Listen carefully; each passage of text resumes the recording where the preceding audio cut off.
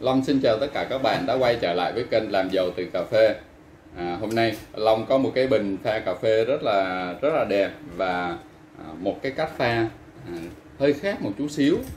À, muốn chia sẻ với các bạn hy vọng rằng à, các bạn có thể áp dụng thử để mà trải nghiệm à, cái hương cái vị của một cái phin cà phê khi mình pha theo cái cách này. Long tạm gọi đây là pha cà phê phin đá đây ha, phin đá phin pha xuống đá. Rồi bây giờ long sẽ xay cà phê cà phê long đã lấy xong rồi. Ở đây à, là a 100 phần trăm à, a cầu đất 100 phần trăm. Rang ở thang độ rang là là full city rồi mình thử xem là khi mình pha phin đá như vậy thì à, nó khác gì so với với mình pha bình thường. À, xong mình đổ nó vô vô vô vô đá không các bạn ha? À, khác khác biệt nhau gì không? Rồi Long sử dụng 25 gram cà phê như bình thường nha các bạn và 100 gram nước.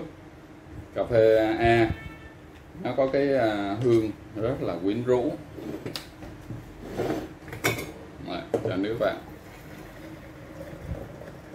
Long cũng sử dụng à, tổng trọng lượng nước à, là 100 g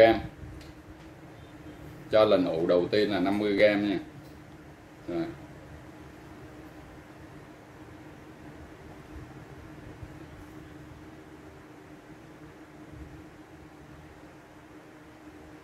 Rồi Long ủ lần đầu tiên 50g nước. Và như các bạn biết cách pha với đá như thế này à, Ví dụ pha rip hoặc là cold brew hoặc là pha đá như thế này à, à, theo long được biết xuất phát người ta gọi đây là kiểu pha của nhật tại vì xuất phát từ nhật các bạn. À, và long rất thích cái, cái à, cách pha này các bạn cách pha này. À, tại sao như vậy? Thì à, chút xíu uh, chia sẻ với mọi người. À, rồi long rót nước lần hai ủ hết 30 giây. Nhìn những cái à, cái giọt cà phê các bạn nó chạy xuống từng à, cái viên đá trắng. À, trông nó rất là đẹp. À, 80 rồi 100 gram. À, các bạn thấy xung quanh của cái cổ của cái bình nè nó đã có cái hơi nước à, hơi nước nó bám đây rồi. À, cà phê nó sắp chảy xuống rồi đó à, nhiệt nóng nó đã chạy nó đã, đã, đã, à, xuống dưới này rồi. À, đây, coi coi nó có bị gạch cái đít này coi rồi nó bị ở đây. Đó. các bạn nhìn thấy rất là đẹp. Đây làm để gần lại cho các bạn xem. Rất là đẹp. Từng cái giọt cà phê từng cái giọt cà phê nó chạy xuống cái viên đá. À nó chạy xuống cái viên đá tạo thành cái màu sắc rất là đẹp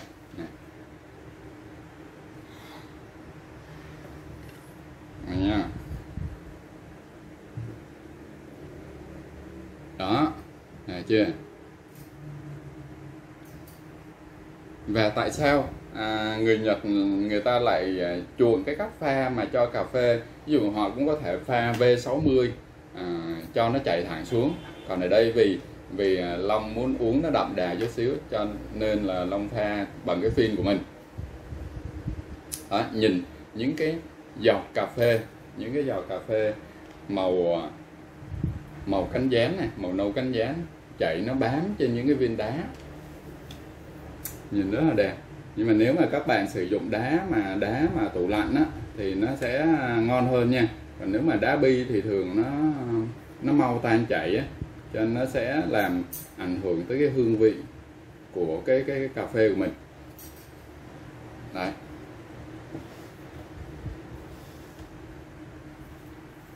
Rồi trong thời gian nó, nó chạy như thế này thì à, long cũng muốn chia sẻ đây là một cái cách pha mà nó à, tối ưu hóa được một cái phim cà phê mình pha. Đó ví dụ à, một cái phim à, ví dụ phim cà phê khi pha à, khi rót nước lạnh vào à, rót nước nóng vào nó sẽ chiết xuất được toàn bộ hương vị trong cái bột cà phê này.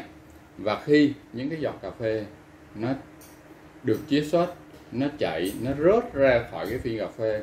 Và khi nó rớt vào những cái viên đá này thì vô tình giống như nó gặp nó là nó bị à, làm à, nó bị đóng băng nó bị đông lạnh ngay tức khắc. Tại vì đá lạnh và nước nóng. Và điều đó sẽ giúp cho nó bảo toàn được cái hương vị khi à, cái cà phê nó vừa được chiết xuất ra. Các bạn hình dung giống như là à, khi người ta muốn à, cái này biết có nên nó có người người ta người ta làm muốn một cái cái cái con vật gì nó được tươi nguyên á thì người ta cấp đông rất là nhanh nhanh chóng để bảo toàn tất cả những hương vị hoặc ngay cả à, nông sản cũng thế. Đó một số loại nông sản họ cấp đông à, nhanh cấp đông tức thì. Đó chứ không phải cho vô tủ lạnh mình thì mấy tiếng sau nó mới bắt đầu nó đông. Còn nó có một cái hình thức có cái phương pháp cấp đông tức khắc và điều đó có nghĩa nó bảo toàn được tất cả những cái tinh túy ở trong à, cái sản phẩm đó. Ví dụ như cà phê đây khi nó chạy ngay xuống dưới cái đá lạnh này nó sẽ giúp bảo toàn được giống như nó nó là một cái lớp ôm trọn được cái hương vị đó của từng cái giọt cà phê. Và như vậy khi mình thưởng thức những cái tách cà phê như thế này trong cái mùa trong cái mùa hè nóng bức như thế này những cái hương vị trọn vẹn như thế này thật là tuyệt vời. À, à, và như vậy thì à, à, cái thiên cà phê nó chạy gần xong rồi đó nó chạy gần xong rồi đó. À, đợi làm chút xíu rồi lấy cái ly.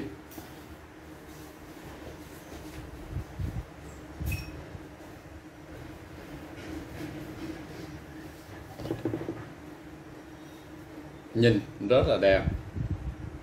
Tận dụng tất cả những cái ưu thế của à, nóng của lạnh làm cho một cái ly cà phê của mình thực sự là là hoàn hảo các bạn thực sự là tuyệt vời. À, nếu các bạn chưa thử các bạn hãy thử đi. À, các bạn cho cà phê cà phê chạy trực tiếp lên đá và các bạn sẽ cảm nhận được cái hương vị rất là tròn vẹn. Còn nếu à, các bạn sử dụng nước lạnh để pha giống hình thức cold brew thì nó là một cái trải nghiệm khác. Nó là một cái cách lấy hương vị khác nó tạo ra cái hương vị khác.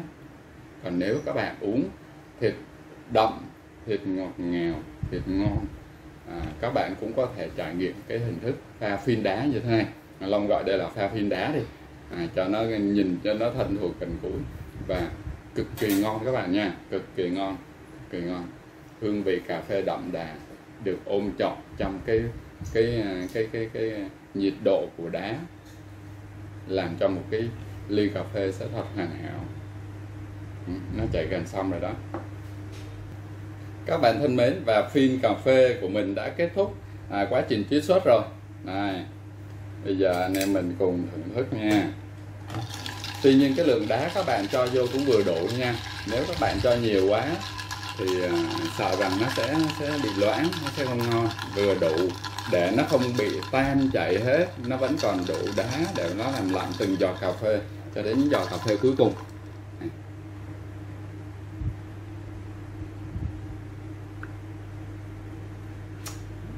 Rất là hấp dẫn, rất là ngon, đặc biệt trong những ngày trưa hè nắng nóng như thế này. Mùi hương.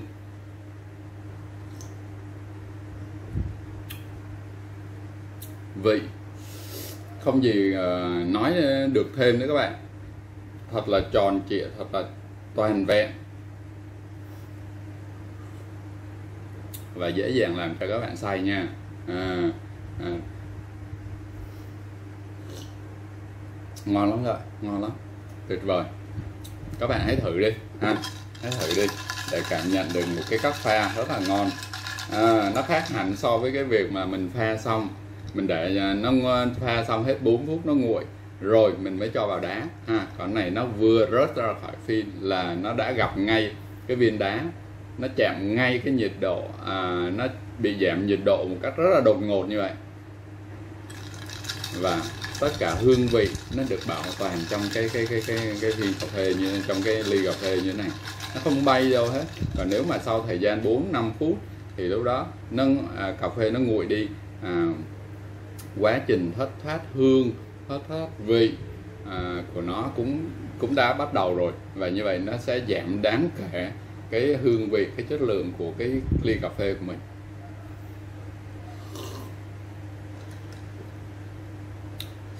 Tuyệt vời. Ngon lắm các bạn. Hương vị thật tuyệt vời.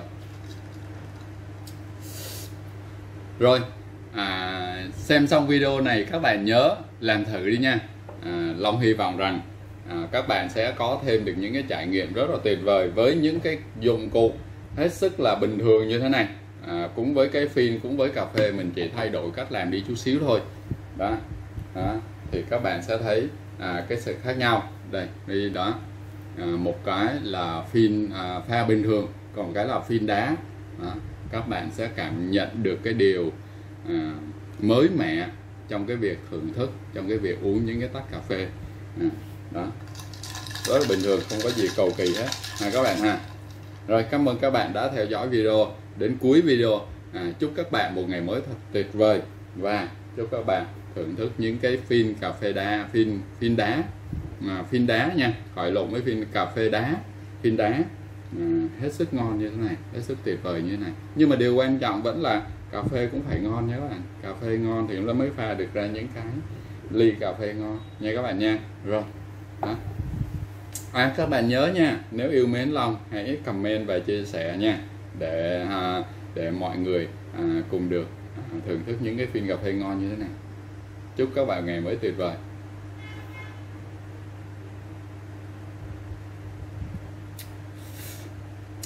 Còn chịu